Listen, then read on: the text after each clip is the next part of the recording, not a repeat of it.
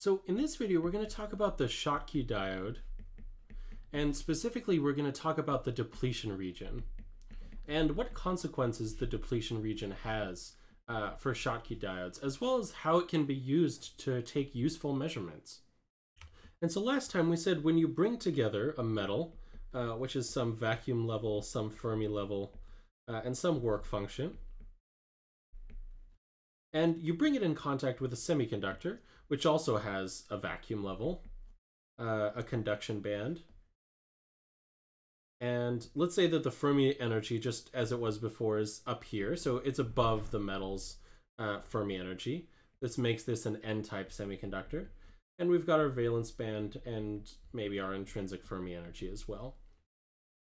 And when we bring these two in contact, uh, we know we've got a bunch of high energy electrons up here.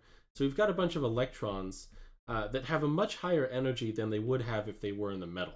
So the electrons are going to tend to diffuse into the metal until the Fermi energies of the two sides are equal everywhere within the device. So once that happens, uh, the band diagram will look something like this. We've got our vacuum level, um, and now our vacuum level bends down as does our conduction band and our intrinsic Fermi energy. and our valence band. So EC, EF is now constant throughout the structure. And we've got our vacuum level up here. And so this is still an N-type semiconductor. And now a bunch of electrons have diffused into the metal. So the metal has more electrons than the semiconductor. And similarly, the semiconductor now has a bunch of positively charged ions. So a bunch of dopants that are now ionized very near the surface. And if we draw this just as a, a simple block, let's say we've got some metal over here, and we've got some semiconductor here, then we know that the electrons are sort of all going to be crowding up very near the edge, and this is to prevent the electric field within a metal from or prevent the metal from having an electric field anywhere inside it. So let's redraw these as the electrons all scrunching up very close to the edge. And in the semiconductor, uh, if we make the abrupt depletion approximation, we can just say, well, it's going to have a bunch of positive charge, and all of the carriers are going to be ionized now. So whatever doping concentration we had, ND, all of those carriers are ionized within some depletion region xn. And so the charge density within this region is just qnd. Uh, and since we know the charge density, we can figure out the electric field as a function of x, and let's let's call this uh, this direction x. Uh, and from that, we can figure out the potential or the electric potential within this region. And we can also calculate the total uh, built-in potential. So this uh, is also known as the built-in potential, just this region here, uh, this amount of band bending. But we know the amount of band bending uh, just from the work function difference between the metal and the semiconductor. So once we know that, we can figure out the depletion region, xn. And this is exactly the same procedure that you'd follow for uh, calculating the depletion region width of a PN junction diode.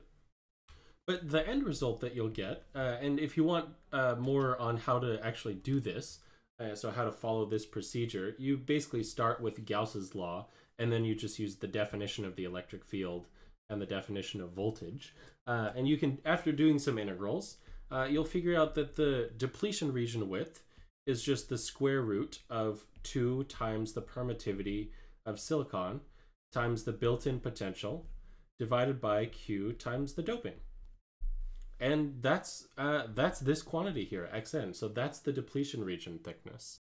And you might say, well, what about the metal? Like, don't we have to add a little bit of, uh, I don't know, xp or x uh, xm here? And the answer is, yeah, we do, uh, sort of. But the uh, this, um, if you actually do the integrals, uh, this basically looks like a very sharp, uh, very fast function or approximately a delta function. And so when you integrate that once, it'll look like a step function. And when you integrate it twice to find the voltage, you'll find that the potential drop across this region is approximately zero. So the voltage dropped is almost entirely over the depletion region in the semiconductor. We still have charge neutrality. It's just that these carriers are so scrunched up. Uh, their density is so high that the uh, that the width of the depletion region, you can think of it within the metal, is essentially negligible. Uh, this is the same as a P plus N uh, diode. You'll you'll get the same exact result for the depletion region width. And if we applied some voltage now uh, between the semiconductor and the metal, and let's say that the voltage is positive on the side of the semiconductor, so this is some reverse bias voltage VR, then our depletion region width, we just have to add VR uh, to VBI. And the reason for this is that uh, VR is just increasing the amount of band bending that we have. So it's making our bands bend even more. Um, and this is just, uh, if you carry out the integrals, do the same exact thing. Now the built-in uh, potential, you need to add uh, add a term here. So the total amount of band bending is just going to be VBI plus VR. So ignoring what happens to the rest of the bands, because the Fermi level is going to move and all that, uh, this distance would be QVR. So the total amount of band bending is just the sum of these two. And so another interesting thing happened now that we have this depletion region here. Let's erase some of this other stuff. Um, so now that we have a depletion region, we've got a separation of charge. So we've got, this is an n-type semiconductor, so we've got a bunch of electrons which are free to move around, floating out in the semiconductor. We've got a bunch of electrons in the metal, and so uh, this acts like a capacitor. Uh, so if we try to add a little bit of charge to one side, so a little bit of negative charge to the metal, for example, we're going to get these electrons uh, are going to be repelled, and we're going to reveal more ions. And so this behavior is exactly the behavior of a capacitor. As we add charge to one side, we we remove the same amount of charge on the other side, or we add a negative of that charge on the other side. And we know that the capacitance, uh, or the capacitance per unit area of a parallel plate capacitor, is just the permittivity of whatever material is in between, uh, divided by the thickness and in this case, the thickness is just the depletion region.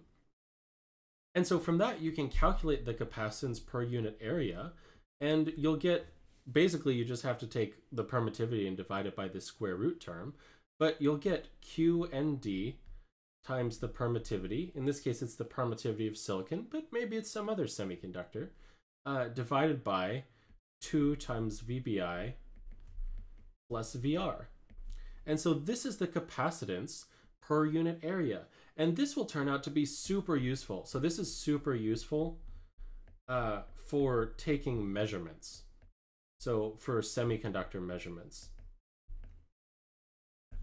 Uh, because if we know the capacitance, so we can apply different voltages VR and measure the capacitance at each of those voltages.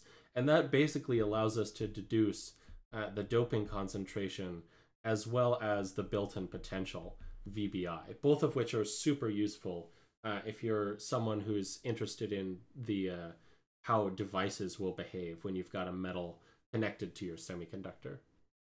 So in the next couple videos, we'll be going over the current voltage relationships of a Schottky diode, or we'll be trying to figure out if we apply a voltage, maybe it's maybe it's negative, maybe it's positive. Um, what is going to be the resultant current? So how does this device behave electrically? And once we know that, in addition to how um, how this device behaves at uh, DC, let's call it, or how this uh, how these bands behave and how charges behave, then we know pretty much everything there is to know about the Schottky diode. So I hope you enjoyed the video. If you did, please give it a like below and consider subscribing to my channel for more similar videos. Um, if you have any questions or comments, also please feel free to post them down below, and I'll see you next time. Thanks for watching.